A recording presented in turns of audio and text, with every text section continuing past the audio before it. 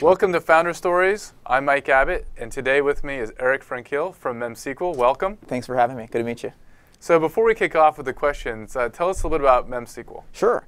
Um, so uh, MemSQL is a company uh, founded in 2011 going through YC. It's uh, a database that's built for real-time analytics. So winter 2011 YC, Yep. 14, 14 folks. How many are engineers? Uh, nine engineers today. Uh, Okay. When we got started, it was just myself, my co-founder Nikita, and uh, a dog. So Dogs always really important. very important, very important. So you're like almost two years now later, not, not Yep. quite. Um, and like looking back on your YC experience, what, what things like really stuck out? What things did you kind of wish that maybe you had more out of YC or Yeah. Um, so going through YC, I think, is a great um, experience for a, a, variety of different types of startups. Um, going into YC as a enterprise-focused startup at the time was very unusual, um, and I think it gave us a lot of sort of uh, you know perspective and insight to what we would have to do post YC. Um, so you know a lot of the the focus on you know building virality, um, you know viral loops just weren't that relevant for us. Um, but what we did see, of course, was a great team of you know fellow founders and uh, it was fundamentally there for a lot of the advice from PG and the other partners. Um, the dinners were, were awesome, you know, the speakers. So I think um, any company, whether it's enterprise or consumer going through YC, gets a lot of value. Um, for us, we were a bit of a black sheep going through it, but um, you know, more enterprise companies have been founded through YC now. And uh, having started an enterprise company myself, um, especially as, as an engineer, than the, the CEO, one of the challenges is getting those first customers because it's not like there's a manual on how to go sell customers. Tell us a little bit about your experience getting those first customers from MemSQL. Yeah. Um, so I, w- what's kind of I think nice to anchor it is that when YC when you join YC you get a T-shirt and it, it boils down to a phrase on the fr- on the back that says "Make something people want," um, which really boils down to why consumer startups exist. Um, I think the parallel will be something make something companies want or make something companies need. Um, and you know the first thing that we did when upon you know founding the company was very quickly identify um, a, an immediate use case that we could attack and, uh, and solve.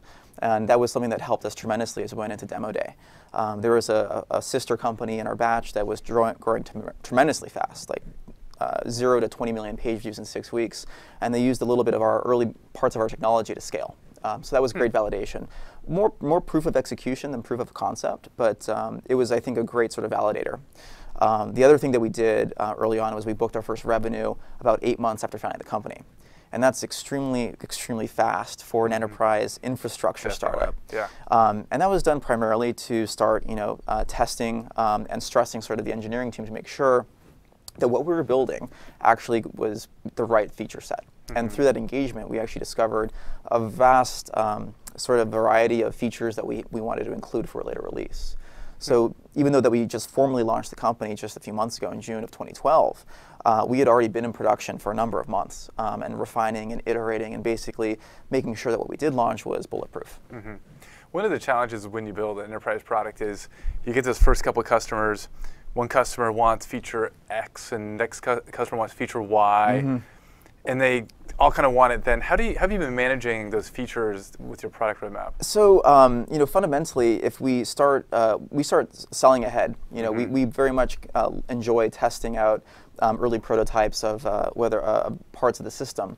If we notice um, a common sort of you know uh, string, if you will, throughout um, these early engagements, it does prioritize that feature for us. Um, so you know, we've done it before where you know we basically had a, a feature that was lower pry, but after seeing sort of the use cases sort of mater- uh, materialize, uh, we prioritize it higher. Um, and I think it's a parallel with again a consumer startup where it's very easy to A/B test and launch a feature very quickly. With an enterprise company, you've only got one shot really to get the, the actual release right. Um, so that entails a lot of uh, early work with customers, um, an early access program, a, a private beta program. Um, all of those have been very helpful for us just to make sure that what we do go GA with is actually the right sort of software. And the other kind of challenge can be when you have 14 folks and nine are engineers, Right. and you've got your product in the field that Right. engineers can be doing a lot of the field work. Oh yeah. And so, I- I think it's you tell me a little bit more about how, like, how you structure that in MemSQL, and how do you ensure that bugs are being addressed, but at the same time you're advancing against your prioritized Right. product roadmap. Um, so I think it's very important that um, any small engineering team that's focused on the enterprise be able to talk and interact with their customers. Um, it, nothing makes a problem more immediate if the engineer himself experiences it or vicariously understands exactly what's happening. Um, so all our early engagements, we would have engineers on the ground, you know, boots on the ground, if you will, basically working with our early customers, making sure that they would see, you know, how the interaction was going.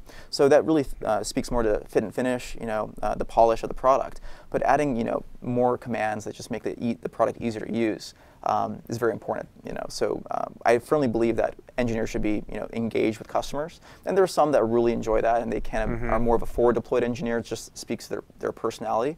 Um, but any team, I believe, actually has to have that that, that sort of um, cross-functional, if you will, um, team member. hmm Yeah, saw a very similar thing at Composite Software, and in terms of some engineers really gravitated to wanting to be with those customers, and which is really helpful. Oh, it's great. to bring that kind of data back. Right.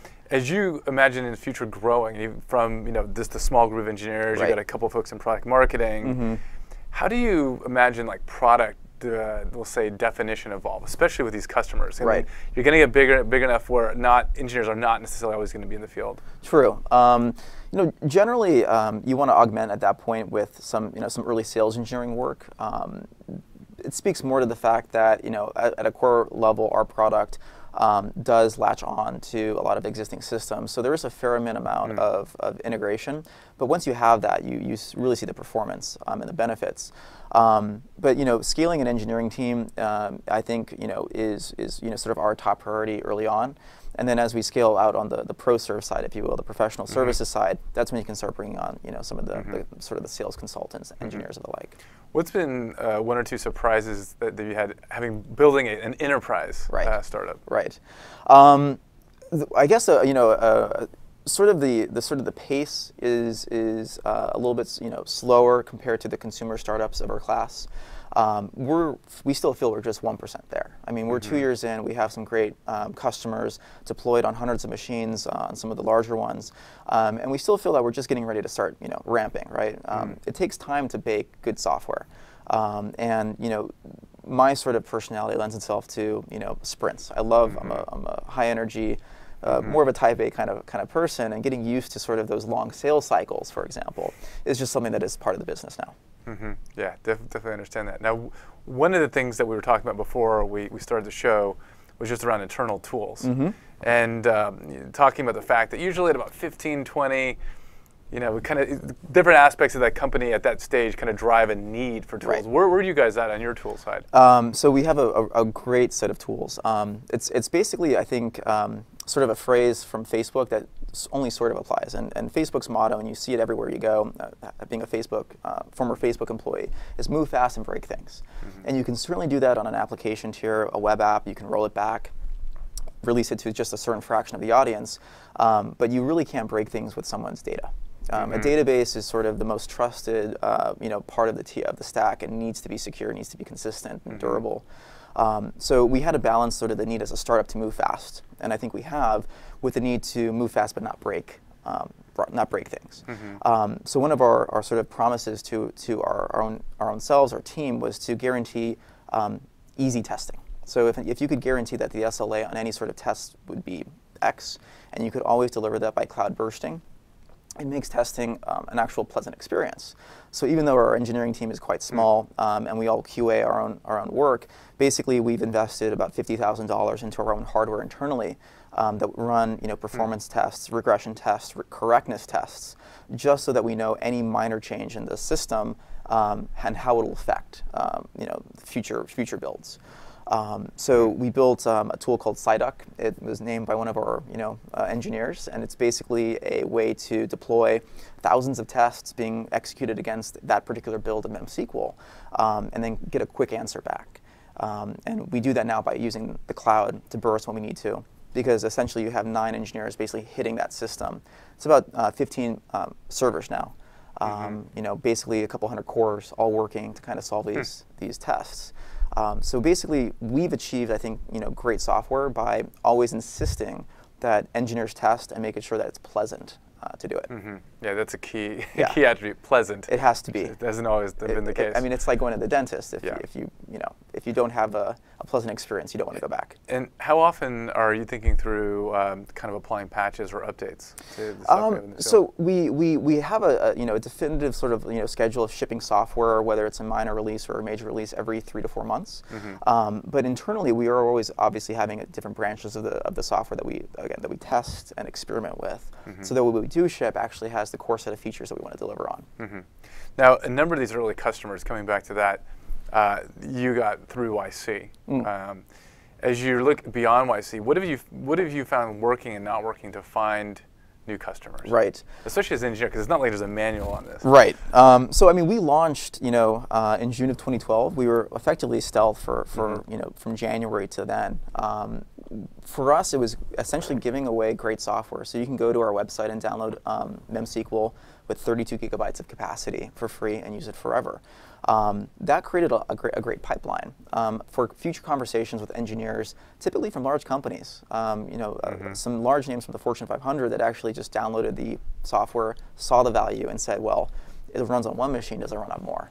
Mm-hmm. Um, and you know, we're getting ready to actually do a GA with with MemSQL distributed. Um, hmm. and that's currently what's in production with some of our, our you know, valued customers like Zynga.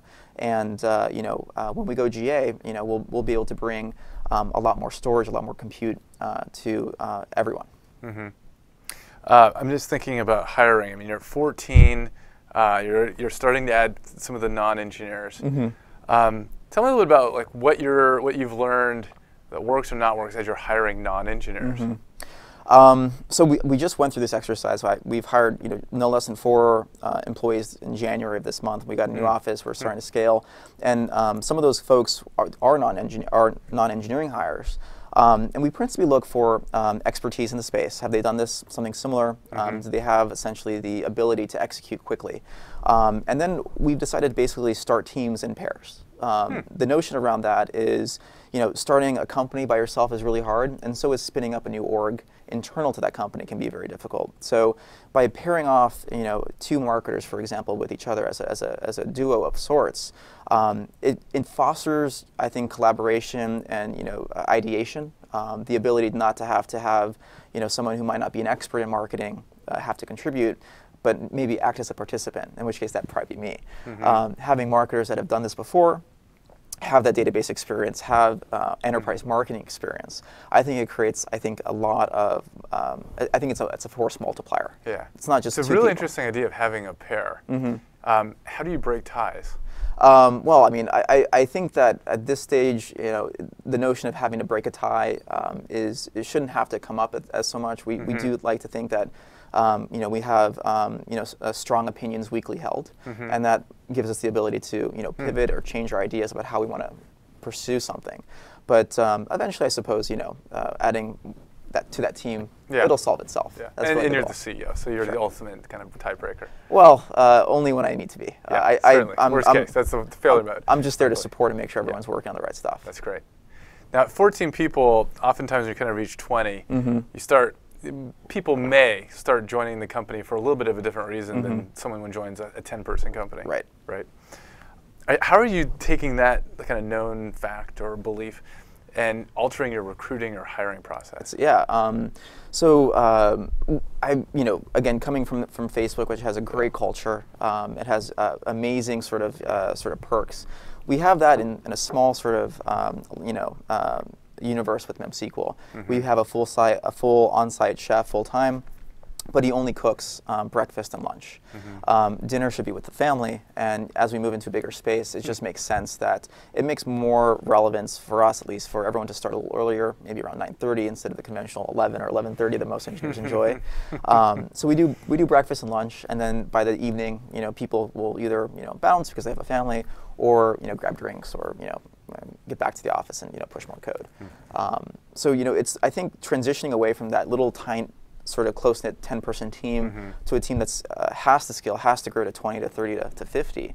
Um, you just have to have a culture that evolves with it. Mm-hmm. Um, so we're working on that, and I think we're doing pretty good so far. That's fantastic. Well, Eric, thank you so much for coming today on Founder Stories. My pleasure. Uh, thank you for watching, and we'll see you next time.